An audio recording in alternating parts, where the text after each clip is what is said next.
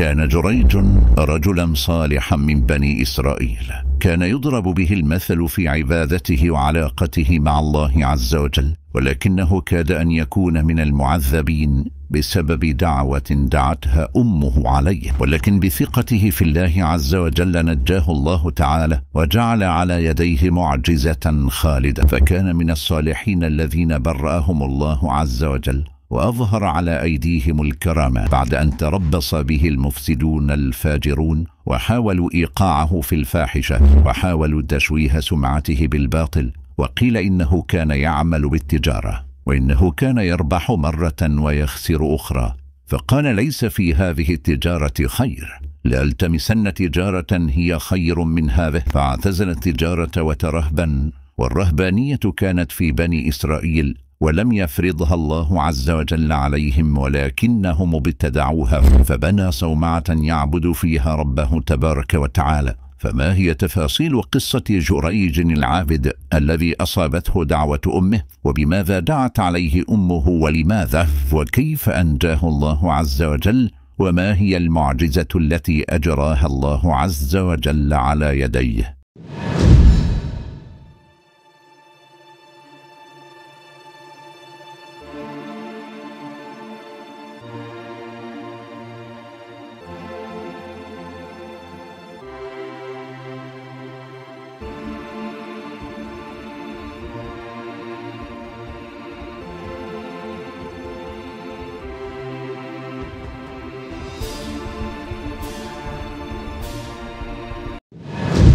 قصة جريج العابد روى البخاري ومسلم في صحيحيهما عن أبي هريرة رضي الله عنه وأرضاه أن النبي صلى الله عليه وسلم قال لم يتكلم في المهد إلا ثلاثة عيسى بن مريم وصاحب جريج وكان جريج رجلا عابدا فاتخذ صومعة فكان فيها. صومعة هي معبد الرهبان في الأماكن النائية فأتته أمه وهو يصلي فقالت يا جريج فقال يا رب أمي وصلاتي فأقبل على صلاته فانصرف. فلما كان من الغد أتته وهو يصلي فقالت يا جريج فقال ربي أمي وصلاتي فأقبل على صلاته فانصرف. فلما كان من الغد أتته وهو يصلي. فقالت يا جريج. فقال أي ربي أمي وصلاة فأقبل على صلاتي فقالت أمه اللهم لا تميته حتى ينظر إلى وجوه المومسات. والمومسات جمع مومس وهي البلي الزهنية التي تجاهر بمعصيته. فتذاكر بنو إسرائيل جويجا وعبادته. وكانت امرأة من بلي يتمثل بحسنها. هي امرأة زانية يضرب المثل بحسنها وجمال. فقالت إن شئتم لأفتننه لكم عن دينه لأغوينه بالفاحشة يترك دينه.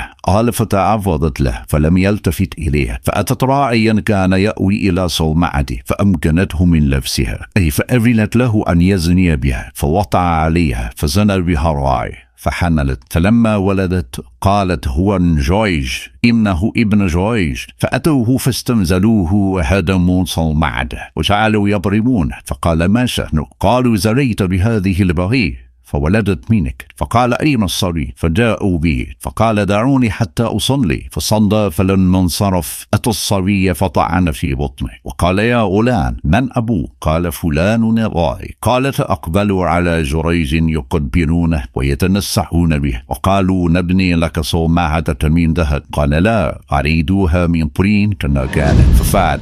إن قصة جريج العابد هي بيان لحال الصالحين والأولياء.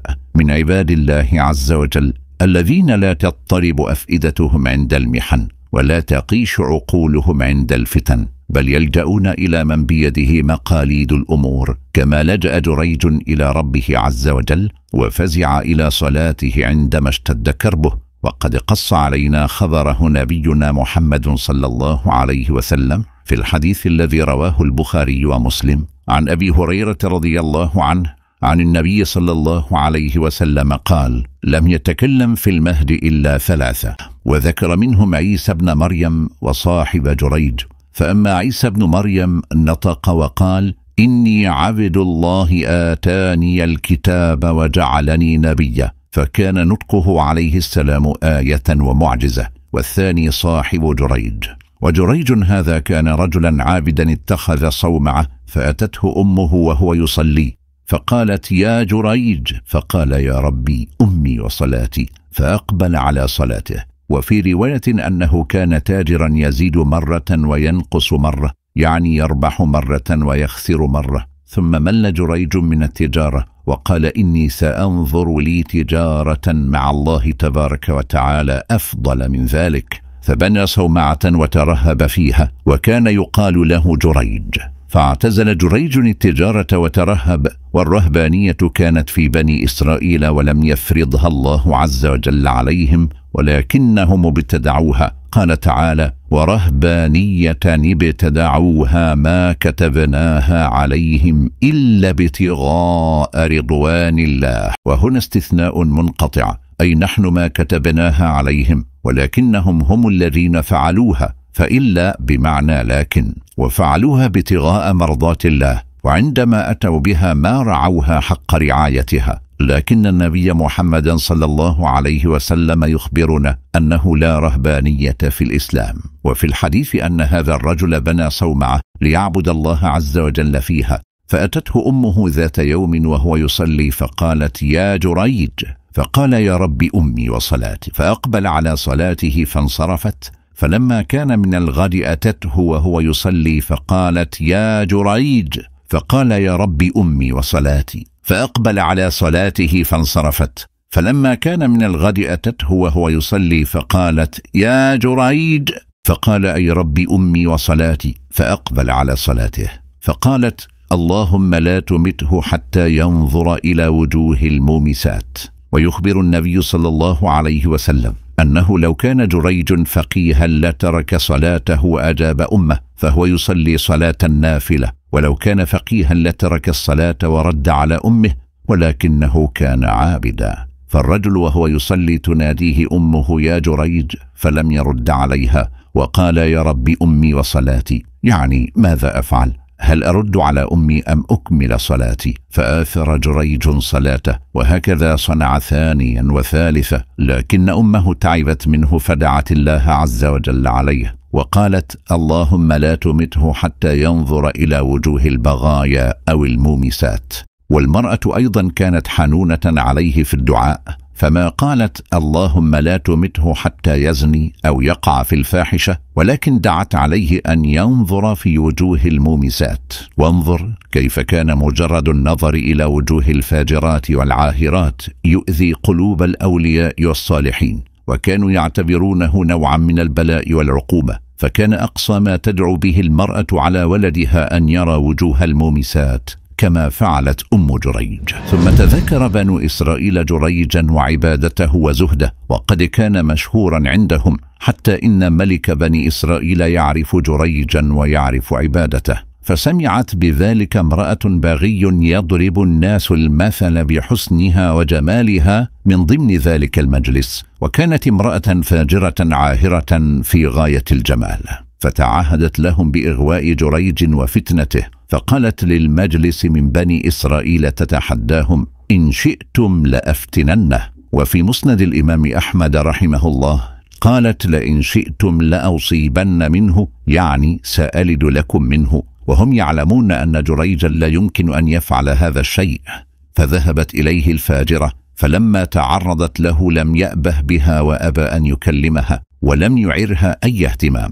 فازدادت هذه المرأة الباغي حنقا وغيظا على جريج حيث فشلت فيما ندبت نفسها إليه من فتنة ذلك العابد الزاهد ورأت أنها ستخسر المراهنة مع بني إسرائيل فعمدت إلى طريقة أخرى تشوه بها سمعته ودبرت له مكيدة عظيمة. فقد كان هناك راع يأوي إلى صومعة جريل فباتت البغي مع هذا الراعي فإذا بالمرأة تمكن هذا الراعي من نفسها حتى يزني بها والعياذ بالله. فلما زنى بها الراعي حملت منه في تلك الليلة ثم وضعت غلاما وافترت على جريج أنه هو أبو هذا الغلام فتسامع الناس أن جريجا العابد قد زنى بهذه المرأة فخرجوا إليه فذهب بنو إسرائيل إلى جريج ليعلموا منه من أبو هذا الغلام وكيف تفعل يا جريج هذه المصيبة؟ ذهبوا إليه ومعهم فؤوسهم ومساحيهم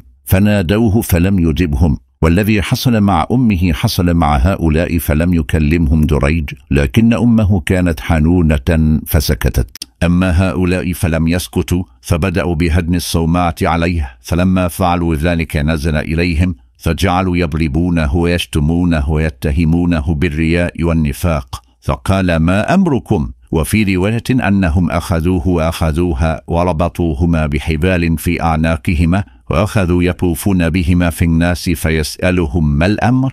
فيقولون سل هذه. وفي رواية أنهم وصلوا به إلى بيت الزواني. فلما وصل إلى هنالك خرجنا إليه ينظرن إليه. فضحك فتعجبوا منه كيف يضحك عندما جاء إلى بيت الزواني. فأخذوه وذهبوا به إلى الملك فقالوا هذا دريج الذي يذكر من عباداته ما يذكر؟ فإذا بالملك يقول لدريج أنت الذي يذكر من عبادتك كذا وكذا؟ ويحك يا جريج كنا نراك خير الناس فافبلت هذه. اذهبوا به فاصلبوه. فلما ذهبوا به ليصلبوه طلب منهم الانظار فتركوه. وفي رواية أنه صلى لله عز وجل وكأنه نام فرأى في منامه أن افعل كذا. وفي هذه الرواية أنه قال أين الغلام؟ فأتوا به فطعن بأصبعه في بطنه وفي رواية أنه أخذ غصنا من شجرة وطعن به في بطنه. وسال دريج الغلام والناس ينظرون فقال له من أبوك؟ فأنطق الله عز وجل الغلام وتكلم بكلام يسمعه الجاني ويفهمونه. فقال أبي فلان الراعي. فبرأ الله عز وجل دريجا فعرف الناس أنهم قد أخطأوا في حق هذا الرجل الصالح فأرادوا أن يكفروا عما وقع منهم تجاهه فعرضوا عليه أن يعيدوا بناء صومعته من ذهب. فرفض وأصر أن تعاد من الطين كما كانت.